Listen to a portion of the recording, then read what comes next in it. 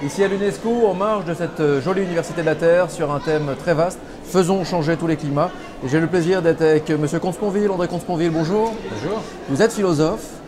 Les, les philosophes en 2015, en 2016, quels sont leurs rôles vraiment par rapport, par rapport au climat notamment?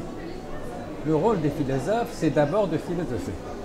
Et de ce point de vue, leur rôle par rapport au climat est assez limité parce qu'en vérité, euh, il y a un problème scientifique qui est celui du réchauffement du climat, qui maintenant est, est bien avéré, bien connu. Il y a un problème moral, mais tellement simple qu'il n'a pas besoin d'un éclairage philosophique. On n'a pas besoin de faire des années de philosophie pour comprendre que notre devoir moral, c'est de transmettre à nos enfants, petits-enfants, descendants, une planète au moins aussi habitable que la nôtre.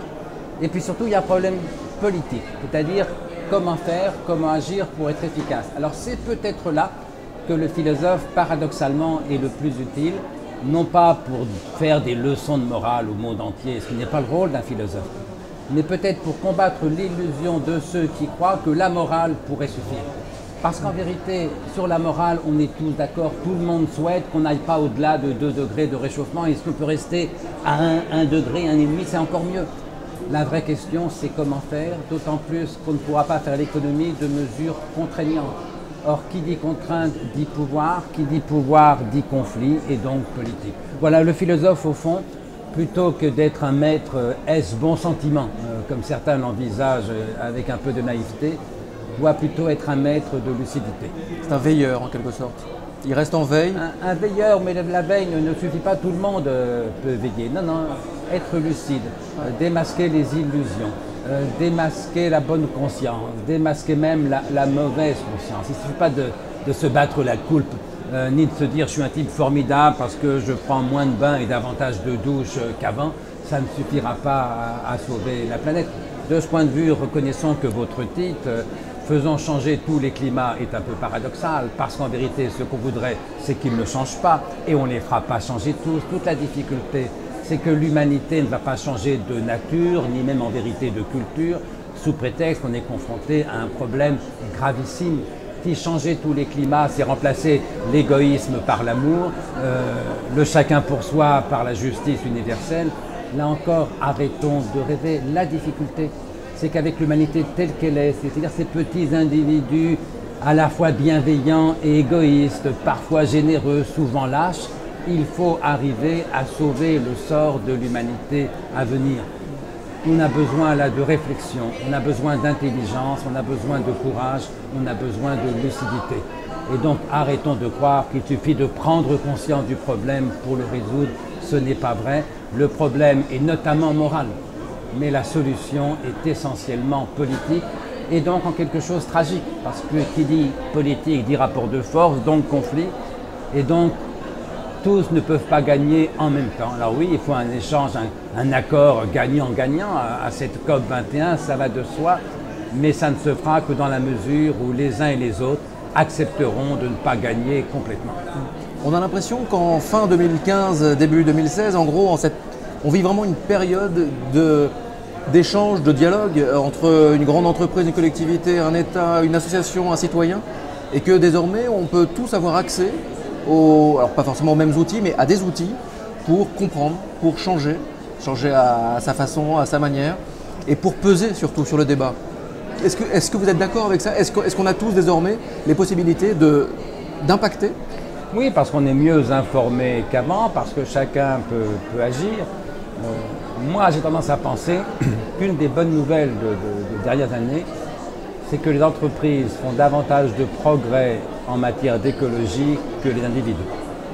Par exemple, tout le monde sait que les voyages les plus polluants, les plus mauvais pour la planète, ce sont les voyages en avion. Tout le monde sait que les voyages qui se développent le plus depuis des années à l'échelle de la planète, ce sont les voyages en avion. Autrement dit, les individus, bien loin de progresser dans leur prise de conscience écologique, ont tendance plutôt, alors pas forcément à régresser, s'ils voyagent plus, c'est pas qu'ils sont moins écolos, c'est qu'ils sont un peu plus riches.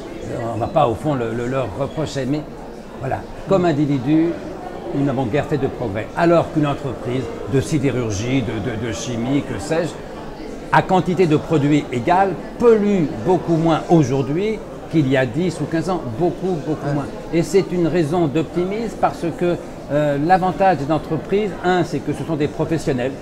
Pour ce qui est notre vie privée, on est tous des amateurs. Deux, c'est qu'elles sont plus faciles à contrôler que les individus. On ne va pas aller chez vous pour savoir si vous prenez une douche ou un bain. On peut contrôler euh, une grande entreprise. Trois, il faut le dire aussi, l'entreprise comprennent que dans ce marché-là, le marché de l'économie verte, il y a du profit à faire, il y a de l'argent à gagner. Et bien je vais vous dire, c'est tant mieux, parce que s'il fallait choisir entre la rentabilité et l'environnement, la planète serait foutue. Et, donc l'un des, challenges des entreprises, c'est d'arriver à transformer le combat pour sauver la planète en, création de richesses. Et bien ça, je dirais, c'est leur domaine d'excellence professionnelle. Alors ça ne dispense pas les individus que nous sommes, dans leur comportement quotidien, d'essayer de faire plus attention.